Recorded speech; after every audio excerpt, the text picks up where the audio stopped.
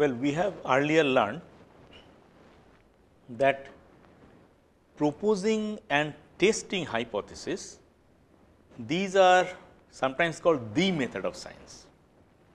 The reason is that whenever we are faced with a question, question of how did it happen, when does it happen, this kind of questions, we make scientific guesses which are the hypothesis. In order to qualify uh, as hypothesis, they have to satisfy certain criteria which I talked about earlier. And once this satisfy these criteria, we say that these are scientifically formulated hypothesis. And then we go about testing the hypothesis. And we have said that the way to approach any problem is to formulate as many hypotheses as possible that are consistent with the clues, initial clues and then eliminate the wrong hypothesis. The reason, uh, let us try to understand the reason once again. The reason is that how do we test the hypothesis? We test because one of the conditions of a hypothesis be, being a hypothesis was a guess being a hypothesis was that it has to have experimentally or observationally testable predictions. So, there has to be predictions. So, if the hypothesis is true, then what are the consequences? And uh, then it has to be stated, it will be stated in the form uh, if A then B. A is the hypothesis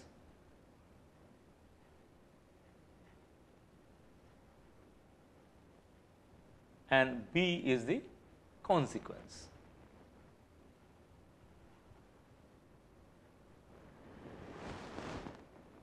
And then while doing the logic part, we have seen that uh, if this is given and if B is true, then can we say A is true?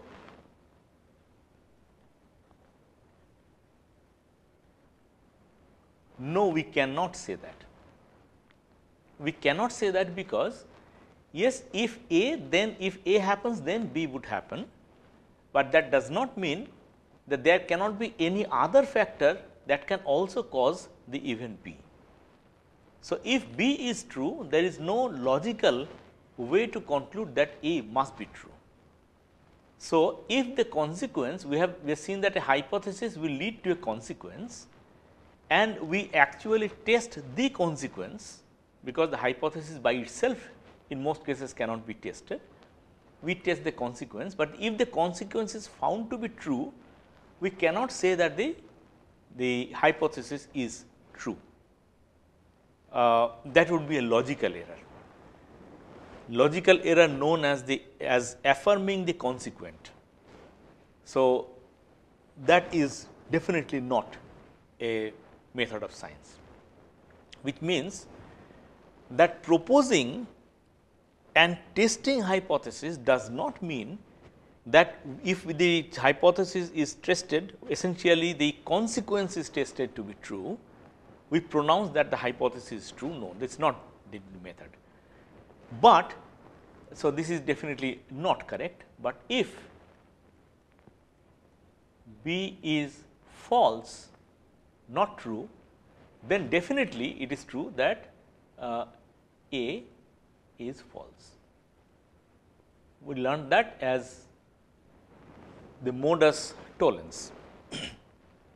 so, if the consequence is tested to be false, then the hypothesis is definitely false. So, we can falsify hypothesis, but we cannot prove a hypothesis to be true based on the testing of the consequence. Uh, so, this is a correct logic. So, we always test and negate, falsify, eliminate the wrong hypothesis. And since this is so, so let me write, uh, we eliminate the wrong hypothesis.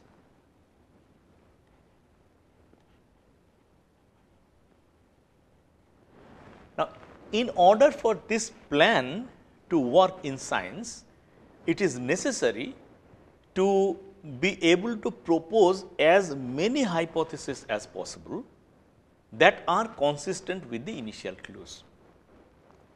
As many means logically we should we should uh, complete all possible uh, mechanism by mechanisms by which a particular event could have happened. And then we have to eliminate the wrong ones, then only you can converge onto the one that is correct. But you can never be sure that you have actually formulated all possible hypotheses. So, whenever a hypothesis is not to proved to be wrong, then it is provisionally accepted as a working hypothesis we go ahead with that. So, we have to propose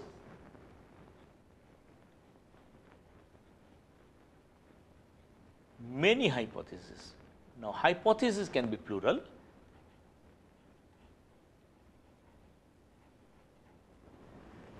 Uh, you have to propose as many hypotheses as possible and then you have to eliminate the wrong ones as I said Therefore, you would notice that many of us will spend our lifetime or a very significant proportion of our time in proposing hypothesis which will ultimately be proved wrong. In doing so, are we failure as scientists? No. Being able to propose hypotheses that are scientifically valid hypotheses I said that there are certain criteria that have to be satisfied in order for a hypothesis to be a scientific hypothesis. If we propose a hypothesis satisfy those criteria, then we are doing good science. Because even if the hypothesis is proved to be wrong, that is progress for science, because another scientist would then not spend their time trying to test that kind of or propose and test that particular possibility. So, uh, proposing a hypothesis that is ultimately proved to be false is also good science. It is sometimes taken uh, as a common sense idea that a successful scientist is one who proposes the right hypothesis ultimately that comes to be true. No, good science is done by people also good science is done by people who propose some hypothesis which was a possibility, but that possibility turned out to be wrong is perfectly valid science. We have to understand that. Most important is that we have to propose as many hypotheses as possible. So, a scientist has to think as how many different kinds of sequence of events could lead to the event that we are trying to explore how many possible events and then we have to test that. Maximizing the number of possible events, possible course of events or possible hypothesis is the right way of doing science. Okay? So, that is first point. Then uh, we have to test the hypothesis and in doing so many times we find that scientists err, they make errors in testing hypothesis. Why does it happen? Uh, happens due to various reasons.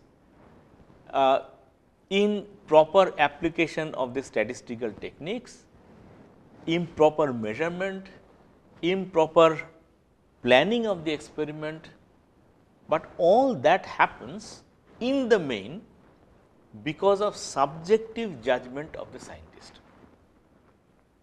Many times scientists have some uh, prior idea which he or she believes to be true without testing, before testing. If somebody has proposed a hypothesis, he or she often develops a sort of a, a kinship with that hypothesis and uh, tries to find that hypothesis unconsciously often tries to find that hypothesis to be true. And these are very dangerous situations because that is what the pitfalls in science that is what sometimes or oftentimes leads a scientist astray. What kind of errors can one commit? There are in the main two types of errors that are identified. The first one is called the type 1 error.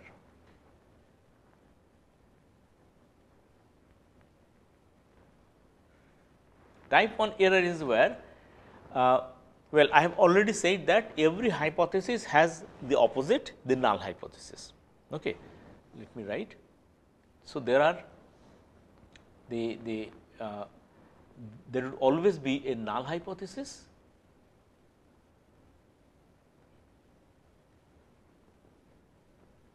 and an alternative hypothesis.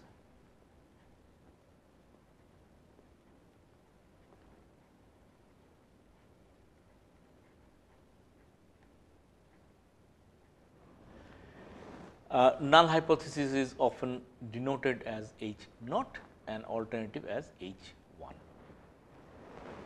For example, if you are proposing uh, that a particular kind of uh, drug is cured to say COVID 19, uh, then the null hypothesis would say that that particular drug has no effect on COVID 19. Okay. So, the opposite of the alternative hypothesis, the hypothesis you are making is the alternative, its opposite is the null and the type 1 error is where the null hypothesis is true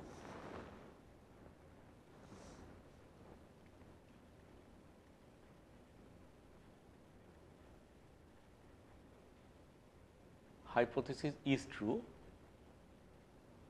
but the test rejects it and accepts the alternative hypothesis. So, this is type 1 error. Uh, this is a common form of error because as I said often the scientist sort of believes in the hypothesis that he or she has proposed and tries to obtain uh, evidence in favor of it, sometimes deliberately, sometimes unknowingly this happens and if somebody has a you know deliberate inclination of trying to prove something right, then uh, the errors are very very common and this is very common error that happens. If somebody believes for example, that the you know cow urine is cured to a certain kind of disease and he or she tries to obtain evidence in favor of that hypothesis, this, this type 1 error is certain to happen. Uh, these are the things that we are seeing these days and it is uh, a very typical situation. The type 2 error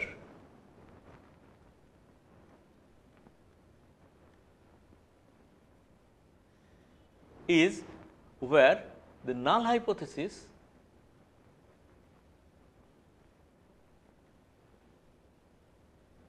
is actually false.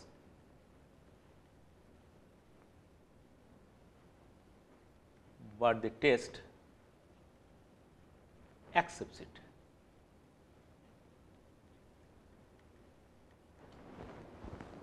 So, we have to when we when we go into the actual test learning the actual test procedures, we have to be very careful about the possibility of committing these two types of errors, type 1 error and type 2 error. And let me tell you that the occurrence of these errors are very common and uh, so it is it is uh, for example type 2 error is uh, where you infer the absence of something which is actually present. So, then it you commit a type 2 error. So, this kind of situations are actually very common. The main culprit in most of these cases is what is known as uh, what is known as confirmation bias.